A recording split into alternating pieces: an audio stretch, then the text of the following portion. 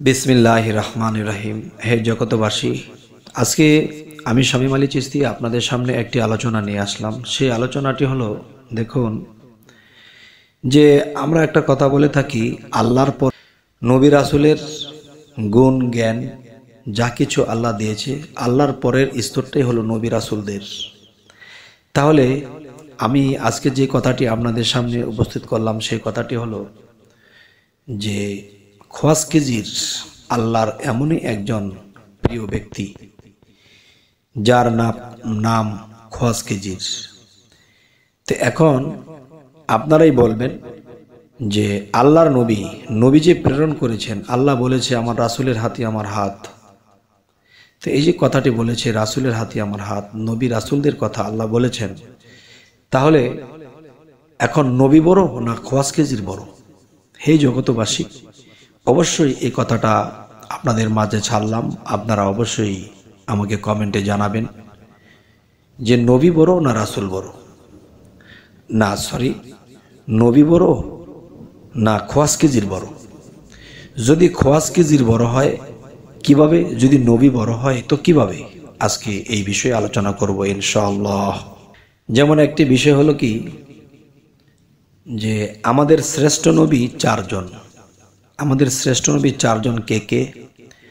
যেমন হজরত মোহাম্মদ সাল্লাহ সাল্লাম হজরত ঈসা আলাইসাল্লাম হজরত দাউদ আলাইসাল্লাম হজরত মুসা আলাইসাল্লাম এই চারজন নবী আমাদের শ্রেষ্ঠ এবং চারজন নবীর উপরে চারটা শ্রেষ্ঠ কিতাব নাজিল হয়েছে।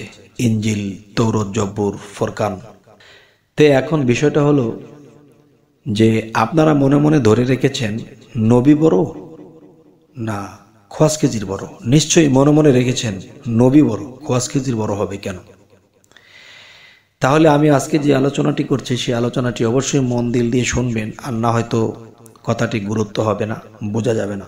তো, যে হজরত মুসা সাল্লাম একদিন আল্লাহকে বলতেছে যে, আল্লাহ, আমি আপনার নবী, কিন্তু আমার থেকে বেশি কথা আপনার সাথে কোনো নবী করেছে?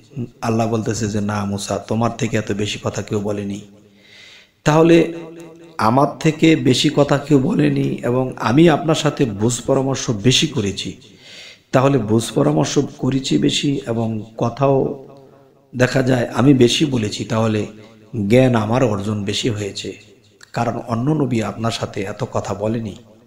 কিন্তু বা অন্য কোনো কেউ এত কথা বলেনি। তাহলে বোঝা গেল কথার মাধ্যমে আমি আপনার কাছ থেকে যে জ্ঞান লাভ করেছি, যে পৃথিবীতে হয়তো আমার থেকে জ্ঞানী আর কেউ নেই, অন্য কোনো কেউ নেই, একমাত্র আল্লাহ ব্যতীত।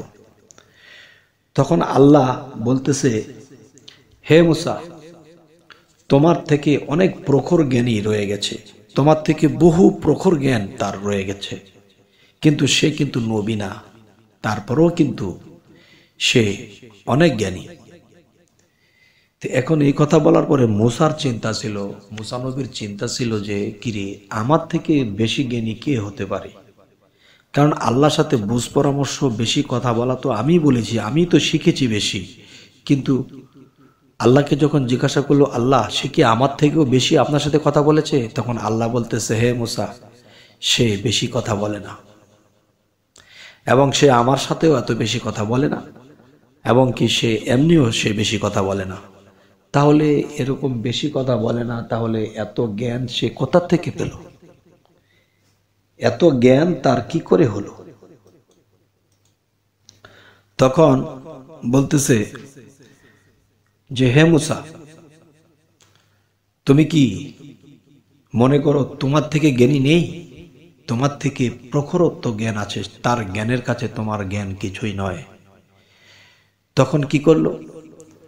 আল্লাহকে বলতেছে যে, আল্লাহ, এত কথা বলেনি, এত বুঝ পরামর্শ করেনি, তারপরও লোকটা এত জ্ঞানী, তাহলে সেই লোকটার ঠিকানা দেন, আমি সেই লোকটার সাথে সাক্ষাৎ করব। তখন কি করল? তখন আল্লাহ তাকে ঠিকানা দিয়ে দিল। আর বলে দিল যে, তোমার ব্যাগে করে একটা মাছ ভেজে, আগুনে পুড়ে এটাকে সুন্দর করে ভেজে, এ ব্যাগে করে মাছটা নিয়ে যাবে। তখন সেই মাছটা কিন্তু মৃত থাকবে বাজা মাছটা। এবং তুমি সাগরের কিনার দিয়ে হাঁটতে থাকবে। সাগরের কিনার দিয়ে হাঁটতে হাঁটতে হাঁটতে হাঁটতে সাগরের যেই জায়গাটাতে গেলে তখন তোমার এই মৃত মাছটা জীবিত হয়ে যাবে। যখন এই মৃত মাছটা জীবিত হয়ে যাবে, তখন তুমি সেই জায়গাতে দাঁড়াবে এবং পানির কুলে যাবে। তখন সে পানির কুলে একটা পানির গোলপাক দেখা যাবে। সেই গোলপাক থেকে, সাগরের থেকে একটা মানুষ উঠে আসবে। তুমি তার সাথে কথা বলবে। তার নাম খোয়াজ কেজির তখন মোসানবী ঠিকই মাছ ভাজিয়া সুন্দর করে তার ব্যাগে করে যে নিতে শুরু করেছে এবং সাগরের পাড়ে দিয়ে হাঁটতেছিল। তখন হাঁটতে হাঁটতে সাগরের এমন এক জায়গায় পৌঁছাইছে, তখন তার ব্যাগের মধ্যে মাছটা জীবিত হয়ে লাফাইতেছে তখন তিনি কি করলেন? সে ওই জায়গা থেকে দাঁড়াইয়া সে পানির কুলে গেলেন। তখন পানির কুলে গিয়ে দেখতেছেন একটা পানির গোলপাক হচ্ছে। আর সে গোলপাক থেকে একটা মানুষ উঠে এসেছে। তখন সেই খোয়াজ খিজির কি করলেন? সেখান থেকে বের হয়ে যখন আসলেন, তখন মুসা আলাহিসাল্লাম বলতেছে, আসসালাম আলাইকুম। তখন খোয়াজ খিজির বলতেছে যে, হে মুসা, তুমি আল্লাহর নবী, তুমি আল্লাহর তরফ থেকে এসেছ। তবে তুমি যেই দেশে এসেছ, এই দেশে সালামের প্রচলন নেই। তবে হে জগতবাসী সেটা আবার কোন দেশ? যেই দেশের সালামের কোনো প্রচলন নেই? তারপরেও বলল যে, তুমি আল্লাহর নবী, আল্লাহর পক্ষ থেকে এসেছ, তোমার সালাম আমি নিলাম। কিন্তু তুমি যেই দেশে এসেছ, এই দেশের সালামের প্রচলন নেই। তবে হে জগতবাসী আজকে এই আলোচনাটি কেন করতেছি? এই আলোচনাটি অনেক লম্বা। তবে লম্বা দিকে যাব না। তখন মুসা আলাহিসাল্লামকে তিনি কিছু জিনিস দেখালেন, কিছু করলেন, কিছু তাকে নিয়ে কিছু হাঁটাচলা করলেন। তখন এই অবস্থায়, তখন দেখতেছে যে সে অগ্রিম কিছু বলে দিচ্ছে, তা হয়ে যাচ্ছে। মুখে যা বলছে, তা হয়ে যাচ্ছে। তখন মুসা আলাহিসাল্লাম বলতেছে যে, সামনে একটা বিষয় ঘটবে, এটা আপনি কি করে বললেন? তখন কি বলতেছে যে, হে মুসা, এই সম্পর্কে তোমার জ্ঞান নেই। এরপর যখন সামনে চলে যাচ্ছে, গিয়ে যে কথাটা বলে গেছে, ঠিক ঠিক সেটাই ঘটছে। তখন বলতেছে, এখানে এটা তো ঘটবে, এটা আপনি আগেই বলে দিলেন, আপনি জানলেন কীভাবে? তখন বলতেছে, হে মুসা, তোমার এই বিষয়ে জ্ঞান নেই। তাহলে এখন বিষয় হলো যে, মুসা আলাহিসাল্লাম তো আল্লাহ নবী, নবীর পাওয়ার, নবীর জ্ঞান থাকবে বেশি। তাহলে খোয়াজ খিজিরের কাছে তার জ্ঞানটা ধরা পড়তেছে যে আমি তো সামনে কি হবে এটা বলতে পারি না। কিন্তু সে তো বলে দেয় এবং যা বলতেছে তা হইতেছে। তখন ভাবতেছে যে হ্যাঁ আল্লাহ যে বলেছে, হে মুসা, তোমার থেকে আরও প্রখর জ্ঞানী রোগ রয়ে গেছে। তাহলে এই খোয়াজ কি জিনিস হলো? তাকে আল্লাহ এরকম একটা জ্ঞান দান করেছেন যে রুহুল কুদ্দুস নামে যে আল্লাহর পাওয়ার, রুহুল কুদ্দুস নামে যে আল্লাহর গুণবাচক পাওয়ার, সেই পাওয়ার দিয়ে তাকে সৃষ্টি করেছেন, তাকে ইয়ে করেছেন। তখন কি হলো? তখন দেখা যায় কি, যে মুসা আলাহিসাল্লাম ভাবতে লাগল হাই রে, আমি আল্লাহর সাথে এত কথা বলি, এত তক্র বিতক্র করি, এত কিছু বুঝ পরামর্শ করি, এরপরও আমার জ্ঞান হলো না। তাহলে কি? যে নীরব নীরব নীরের দেশে রব আসে যে নীরব হইতে পেরেছে। মৌসা আলাহিসাল্লাম ছিল অস্থির এবং বেশি কথা বলতেন এবং তোতলা কথা বলতেন। তো এই পৃথিবীতে আমরা বেঁচে থাকতে গেলে দেখা গেছে যে অনেক অতিরিক্ত কথাবার্তা আমরা বলি। দেখেন, অতিরিক্ত কথা যারা বলে তারা সরল হয়। কিন্তু সরল হতে হতে লাস্টে বেশি বলতে বলতে একসময় কথার পেঁচে পড়ে সে আবার দুঃখ পেতে হয়, কষ্ট পেতে হয়, পেঁচে পড়তে হয়।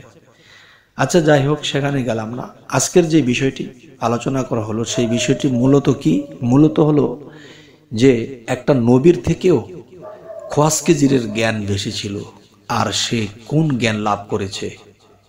এবং তার কাছে একটি ক্ষমতা আছে রুহুল কুদ্দুস। রুহুল কুদ্দুস নামক যেই জ্ঞান, সেই জ্ঞান আল্লাহ তাকে দিয়েছে। আগে, পিছে, মধ্যে, উপরে, নিচে, সমস্ত জ্ঞান তাকে আল্লাহ দিয়েছেন। এবং এই খোয়াজ কেজিরকে আমি অনেক ভালোবাসি, কিন্তু কখনো নসিব হয়নি তার দর্শন হওয়া, তাকে দেখা। হয়তো যদি কখনো আল্লাহর দয়া হয়, হয়তো কোনো একদিন আমি খোয়াজ কেজিরের দেখা পেয়ে যাব। যাই হোক, হে জগতবাসী আজকের এই আলোচনা কি করলাম?